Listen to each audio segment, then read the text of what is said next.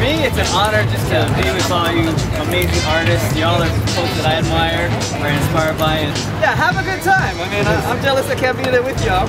For us, it's about um, creating a message so that every single person, even even young people more especially, look at this art form and go, damn, I'm moved, I'm changed, I'm um, um I want to grow from this. This year's word is connected to to water for us and also connected to hip hop. Uh, so the word is flow. Okay, the word is flow. F L O W.